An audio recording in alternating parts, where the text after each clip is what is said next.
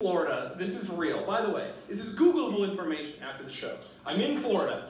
I'm walking past a newspaper stand. I look into the stand. The headline on the newspaper reads, Local man robs Wendy's with alligator.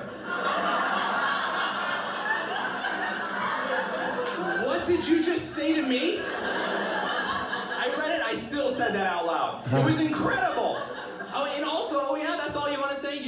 Add any more to that? Like, I don't know, maybe tell us if the alligator was an accomplice or a weapon?